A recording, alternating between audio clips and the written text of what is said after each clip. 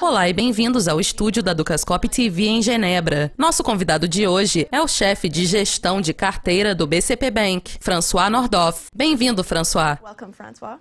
Obrigado pelo convite. And Considerando a situação na Suíça, a última vez que nos falamos, você previa tendência altista para o franco. Qual é a sua opinião agora?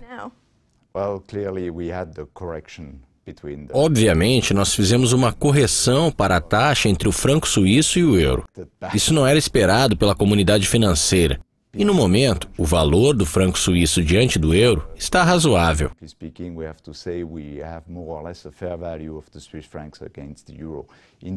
Após a decisão de quinta-feira do Banco Central Europeu, caso o mercado fique decepcionado, o franco suíço certamente se valorizará ainda mais. Definitely the Swiss francs is going to strengthen furthermore. I am not saying Eu não estou dizendo que veremos um movimento de 20 centavos como na semana passada, mas provavelmente ficaremos abaixo da paridade caso a decepção do mercado seja muito grande. the disappointment is very strong in the market. Quem você acredita que ganhou mais com a apreciação do franco suíço? De certa forma, indiretamente, quem mais ganhou foi o Banco Nacional Suíço por um simples motivo. Inicialmente, eles perderam em relação à política selecionada. uh, Em 2011, eles escolheram impor um piso para a taxa de câmbio entre o franco e o euro. uh, E na verdade, a decisão foi um erro e eles admitiram isso. Com o cancelamento do piso, eles agora ficam completamente independentes de quaisquer questões políticas ou intervenções internas ou externas. Essa foi a primeira vitória. Na verdade, eles sofrerão uma perda, porque os ativos que eram anteriormente denominados em euros perderão valor quando convertidos em francos suíços. Nesse sentido, por uma perspectiva contábil, eles tiveram algumas perdas, mas na realidade eles saíram vitoriosos. Como mencionei, eles se tornaram independentes e bancos centrais têm que ser independentes. uh, Em seguida, quem também ganhou foi o consumidor suíço, que durante décadas teve aumentos salariais muito baixos e pela primeira vez está colhendo os frutos de seus esforços. Talvez esse efeito seja de curto prazo. O mercado de trabalho da Suíça é muito flexível, mas o consumidor saiu ganhando nesse estágio inicial. Uh,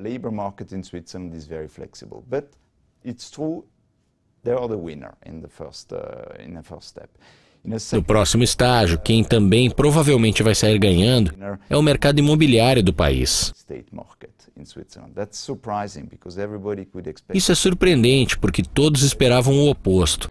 Mas no momento, os investidores internacionais estão vendendo francos suíços ou não estão expostos à moeda. Nós tivemos esse tipo de reação. A pergunta é: como você poderia envolver francos suíços como alocador internacional de ativos? Há várias possibilidades. Uma delas é investir em equities que estão muito voláteis e talvez não sejam a melhor opção com a valorização do franco suíço. You could be also involved Você também poderia se envolver no mercado de títulos. Nós temos um gráfico aqui mostrando o rendimento do título de 10 anos do governo suíço, que no momento é negativo. Como um investidor internacional, você não compraria classes de ativos com rendimentos negativos.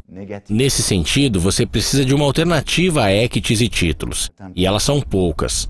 A alternativa que vem em mente é o mercado imobiliário. Nós falamos dos maiores vencedores. Agora vamos falar sobre os maiores perdedores dessa situação.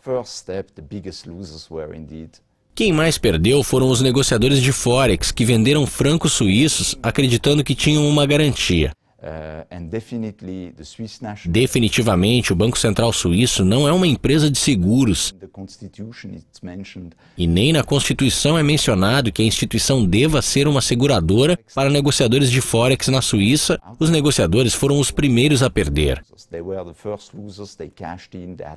Eles tiveram que mover suas posições porque estavam fazendo carry trade com o franco suíço. E com o fim do piso, eles perderam parte de seus carry trades. uh,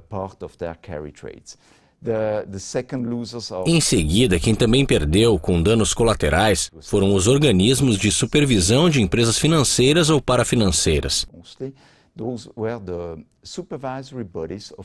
Algumas empresas estavam em insolvência por causa da recente valorização do franco suíço uh, uh, e estavam, de certa forma, aplicando os mesmos controles de instituições bancárias, o que definitivamente não foi suficiente.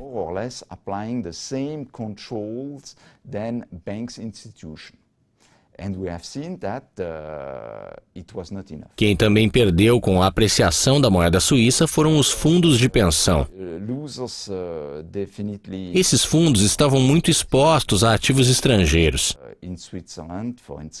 Uh, Mas esse é um problema de médio prazo que será resolvido no futuro.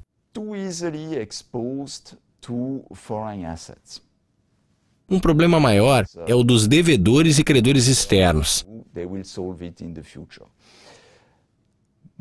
Há muitas municipalidades e regiões fora da Suíça que refinanciaram suas infraestruturas ou até mesmo seus gastos com a dívida suíça. Eles fizeram isso de forma individual ou ainda pior, com produtos financeiros alavancados e estruturados. Essas regiões e municipalidades enfrentarão sérios problemas no futuro. And those regions, those municipalities are going to face huge problem in the future. François, muito obrigada pela participação e pelos comentários sobre a situação atual do franco. Foi um prazer. Isso encerra nossa entrevista. Obrigada por assistirem e continuem conectados para mais entrevistas exclusivas aqui na Ducascope TV. Até mais.